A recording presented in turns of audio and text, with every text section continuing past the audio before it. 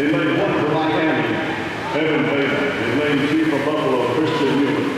In lane three for Miami, Anderson Webb. In lane four for Buffalo, Joshua Michaels. In lane five for Miami, Jonathan Crawford. In lane six, John Gordon, Buffalo. In lane seven for Miami,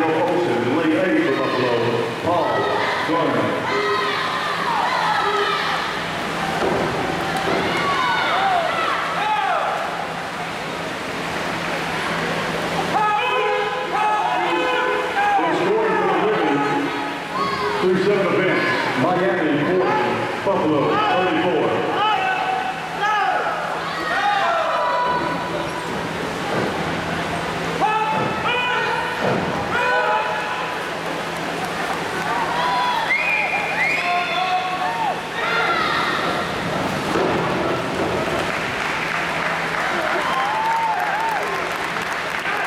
Anyway,